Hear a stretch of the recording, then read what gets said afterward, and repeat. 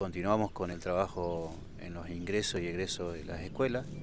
Eh, bueno, hoy la gente está entendiendo que la idea es fundamentalmente mm, eh, prevenir y evitar situaciones eh, penosas, situaciones que después afectan a las personas y por supuesto a los bienes personales.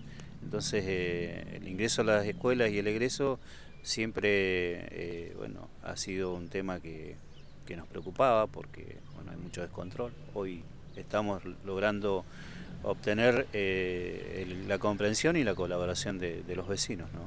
Bien, estamos en un lugar clave, ¿no? La Plaza San Martín y uno de los controles que llevan a cabo son en la Escuela 119, ¿no? En la Escuela 119, que es el lugar, es un punto bastante neurálgico porque además confluye todo prácticamente en esos horarios, pero es, eh, es tener un poco de paciencia, porque son 15 minutos que tenemos que lograr eh, hacernos de, la mayor paciencia posible para que no se genere lo que se genera eh, habitualmente.